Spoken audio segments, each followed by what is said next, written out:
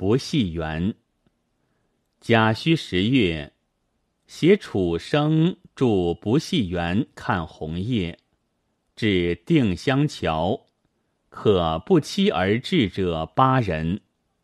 南京曾波臣，东阳赵纯清，金坛彭天锡，诸暨陈章侯。杭州杨宇民、陆九、罗三，女伶陈素之，与刘隐。张侯携兼素为纯清画古佛，波臣为纯清写照。杨与民弹三弦子，罗三唱曲，陆九吹箫。与民复出寸许戒尺。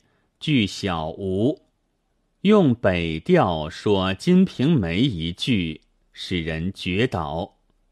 是夜，彭天锡与罗三、与民串本腔戏妙绝，与楚生、素之串调腔戏又复妙绝。张侯唱村落小歌，与曲琴和之。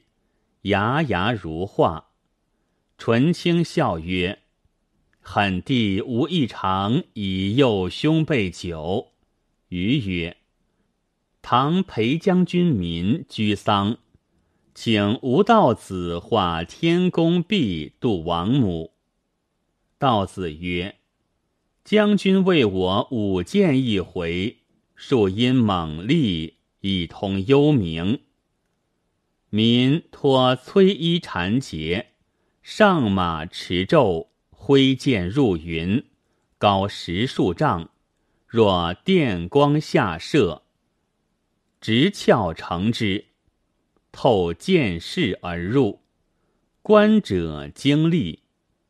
道子愤媚如风，画壁立就。张侯为纯清画佛，而纯清舞剑。正今日是也。纯青跳身起，取其竹节鞭重三十斤，作胡旋舞数缠，大绝而去。